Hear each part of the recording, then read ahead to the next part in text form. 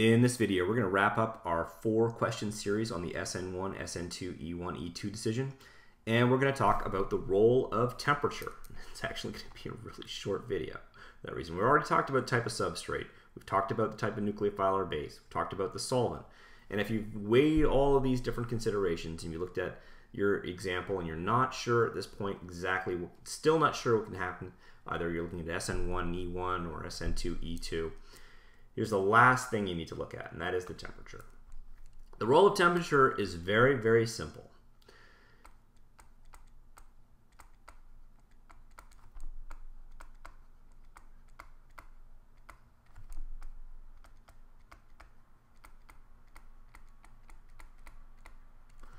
Heat favors elimination versus substitution. And it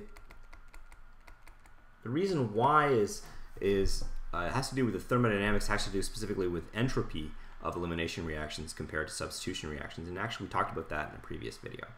So if you're interested, you see that. But really, if you're not sure and you're looking at an SN1 versus uh, E1 decision and you notice that there is heat, then it's going to be more likely that you're going to be looking at an elimination type reaction.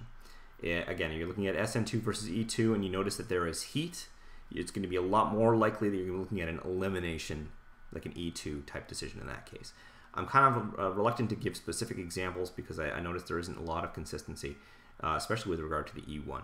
But if you just remember the bottom line that heat favors elimination reactions, and if you notice that there is heat, chances are that you're looking at an elimination reaction versus SN1, assuming you've already made decision about all the other variables involved. So that wraps it up.